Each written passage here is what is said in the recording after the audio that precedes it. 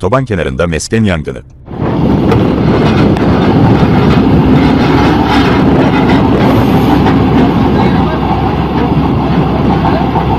Hatay'ın İskenderun ilçesinde bir meskende çıkan yangına zamanında müdahale eden itfaiye ekipleri, daha fazla yayılmadan alevleri kontrol altına alarak söndürmeye başardı.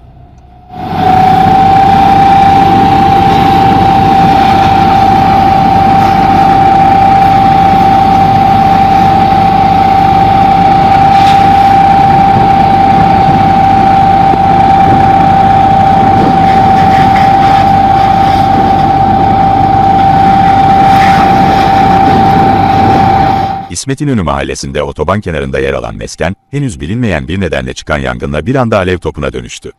Yangın yerinden yükselen kara dumanın şehrin birçok noktasında rahatlıkla görülmesi üzerine 112 acil çağrı merkezine durum bildirildi.